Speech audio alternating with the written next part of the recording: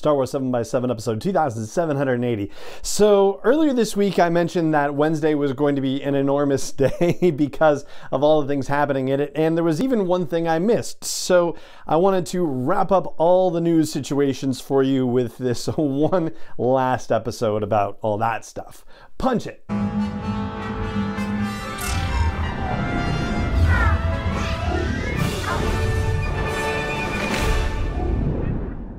Hey Rebel Rouser, I'm Allen Voivod, and this is Star Wars 7 by 7 your daily dose of Star Wars joy.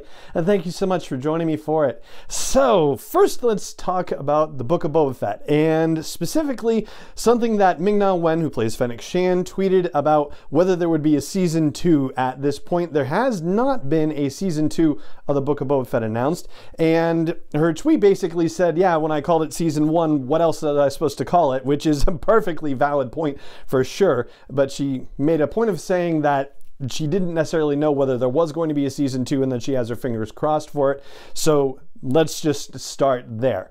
And yeah, totally right. Totally agree with her. And anybody jumping to conclusions based on her calling it season one, well, yeah, that's jumping to conclusions for sure. So for a little historical context, at the end of Mandalorian season one, like within you know, hours, basically, they announced that there would be a season two.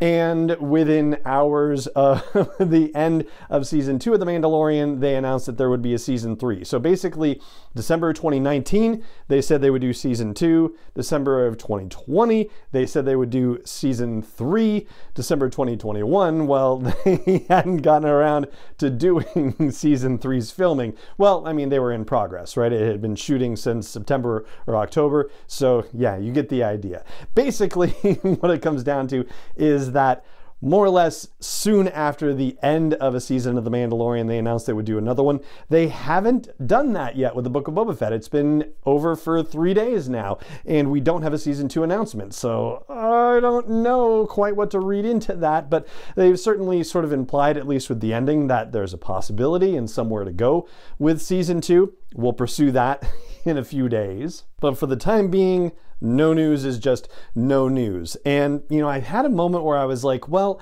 what does it look like in terms of Obi-Wan Kenobi? Because Obi-Wan Kenobi is supposed to be a limited series, and yet, when you actually look at the poster for the Obi-Wan Kenobi series, the one that they just released on Wednesday as their teaser thing, it just says original series debuting May 25th. And that's the exact same thing that the Book of Boba Fett poster said, original series debuting, and it's the same thing that the Mandalorian poster says, original series. They didn't put the limited moniker on the Obi-Wan one, which gave me a moment to think like, oh, maybe there won't be just one season of it. Maybe there could be more. I don't know if that's the case, and I wouldn't necessarily jump to that conclusion anyway, but Essentially, what I'm saying is the Obi Wan posters information is inconclusive for the purposes of our discussion. So we're just going to have to sit and wonder. And if you dug the Book of Boba Fett season one, then let your voice be heard online. So that way there can be some, you know, juice and energy behind the possibility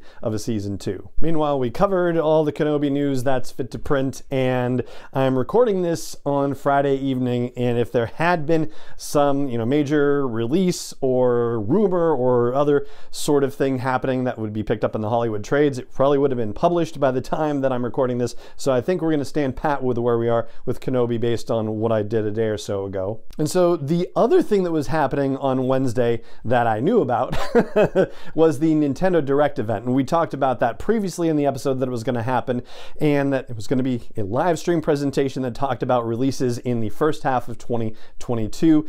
And at that time, time, I had said that, well, gee, Star Wars Hunters seems to be a thing that's supposed to be happening, and so we might hear about that. Surprise, surprise, we didn't.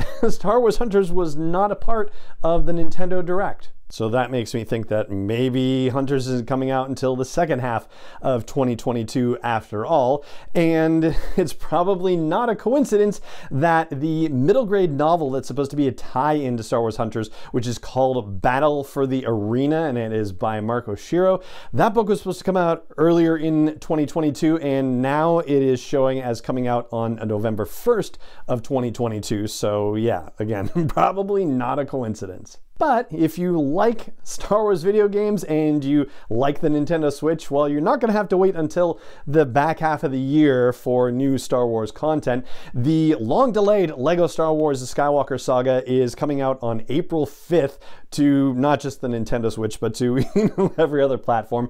And there's also going to be a version of The Force Unleashed, a classic Legends Star Wars video game coming to the Nintendo Switch on April 20th. So that covers the video game situation. The other thing that also happened on Wednesday that I you know, did not know about until after the fact, and there isn't really any new news from a storytelling perspective, is Hasbro had their Fan First Wednesday event and was focused on Star Wars releases. I think probably for our purposes, the only particularly notable thing is that they are making a giant Jabba's throne room set that's based on the Book of Boba Fett that also comes with the version of Bib Fortuna that Boba Boba Fett summarily shot. And so, if anything augurs for the possibility of a season two of the Book of Boba Fett, I might keep an eye on what happens with the pre sales and the orders for that particular set because if that goes like hotcakes, that might let the powers that be know that there's some interest in this moving forward. So, yeah, yeah, we'll see. anyway, yeah, the product descriptions, as we've talked about on the show, sometimes give us little indicators of things, but they haven't really released anything that is worth paying attention to for future storytelling. And so that's why we're not going to dig into that any more than I just did. there you go. That wraps up all the news and announcements that were happening this past week related to Star Wars and storytelling, and that is going to do it for this episode of the show. It just remains for me to say thank you so much for joining me for it, as always, and may the Force be with you wherever in the world you may be. 7x7 is not endorsed or sponsored yet by Lucasfilm Limited, Disney, or 20th Century Fox, and is intended for entertainment and information purposes only. Star Wars, the Star Wars logo, all names and pictures of Star Wars characters, vehicles, and any other Star Wars related items are registered trademarks and or copyrights of Lucasfilm Limited, or their respective trademark and copyright holders may the force be with them. All original content is copyright 2021 by Star Wars 7 by 7 We hope you love it.